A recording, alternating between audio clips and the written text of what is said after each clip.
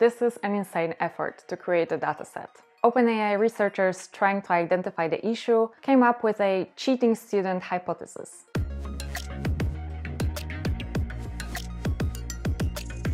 Hello guys, welcome back to my channel. Today's episode is going to be pretty nerdy, so hold on tight. I'm doing it because I think it's very important that the word comes out and that more and more people understand what's going on in terms of algorithm efficiency in AI. So yeah, we are talking about CLIP.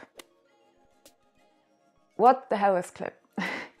Recently I did an episode on DALL-E that created quite a buzz in the AI slash designer community. CLIP research paper was released around the same time DALL-E information was published by OpenAI. CLIP is actually a shortcut for contrastive language image pre-training and it is a neural net created by OpenAI to efficiently figure out the right label to the given image. CLIP is kinda DALL-E in reverse. While DALL-E can come up with an image that matches a given text prompt, CLIP is able to come up with a good label for a given image. What's really exciting about CLIP is that it's good or even better at datasets that it wasn't trained on previously, as opposed to traditional computer vision models that are very good at very specific tasks. As you can see, it usually performs either much better or just as good as the existing options. OpenAI creating CLIP tries to solve a couple of different problems that arise when you apply deep learning approaches to computer vision.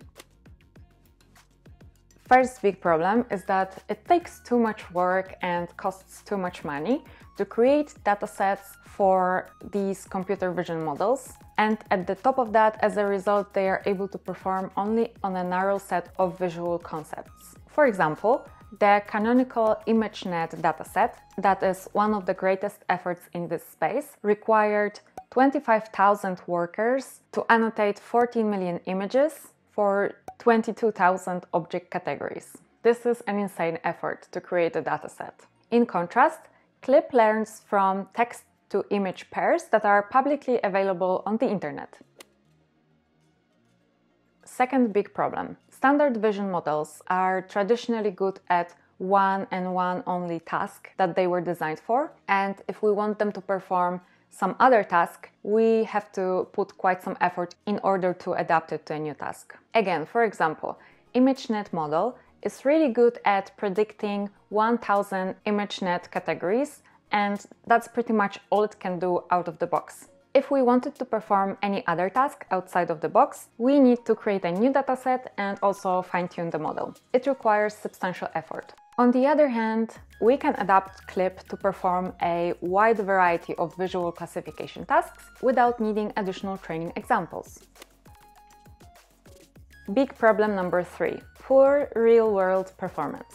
So the issue here is that there is quite some difference between models' performance on benchmarks and models' performance in the wild, in the real world. Usually, models that perform very well on benchmarks have very disappointing real-world performance. OpenAI researchers trying to identify the issue came up with a cheating student hypothesis. What is that? You know this type of studying, and perhaps it happened to you as well, where you are studying to the exam, and in order to be able to get the best grade, you are studying only questions and answers to this particular exam from the past. In this way, you're kind of cheating because when it comes to the exam, you are able to give the right answers, but you didn't necessarily learn about the body of knowledge that you were supposed to. So, similarly, the hypothesis is that models that perform really well on benchmarks can cheat because they optimize for the benchmark performance, whereas in the wild they are not able to perform so well. CLIP model comes to the rescue here because it can be evaluated on benchmarks without having to train on their data. So in that sense, it cannot cheat and the results it gets on benchmarks are much more representative for a real-world performance. OpenAI believes CLIP models are the solution to all these three problems because they are highly efficient, they are trained on a wide variety of unfiltered, varied, and highly noisy data. Secondly, Clip models are more general and flexible. They are able to zero-shot perform on many different tasks, so can be applied to perform a given task without having previously trained to do it. And to verify this, OpenAI measured its zero-shot performance on 30 different datasets. And this is the results.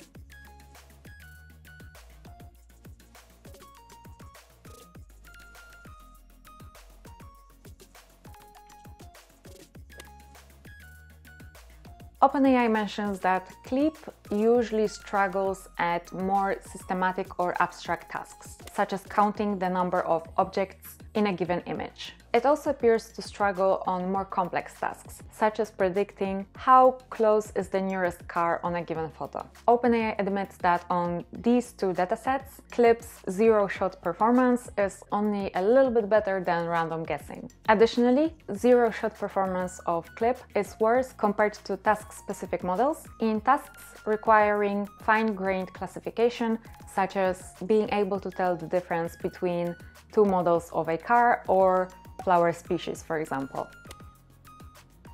There is a couple of potential big impacts that Clip can have. First of all, Clip is allowing people to design their own classifiers and is freeing them from the need of creating task-specific datasets. So new models can be created in a more free way and it will not be so labor intensive and also cost intensive. Second thing is that the way these classes are designed can heavily influence both models' performance and potential biases. For example, OpenAI trained Clip model on Fairface, which is a face image dataset designed to balance age, gender, and race in order to reduce asymmetries common in previous face datasets.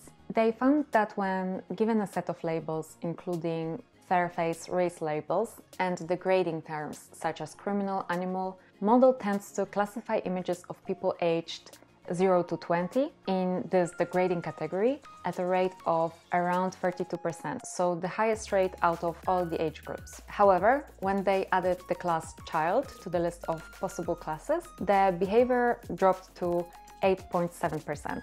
Clip model proved that pre-training on internet scale natural language can be leveraged to improve the performance of deep learning in other fields, such as computer vision, which adds its few bricks to the already happening acceleration of the power of the algorithms. I'm super excited at the Clip model achievements by OpenAI, and I'm really looking forward to their next steps. If you liked the video, please leave a like and remember to hit the subscribe button so you don't miss the next episode. Bye guys!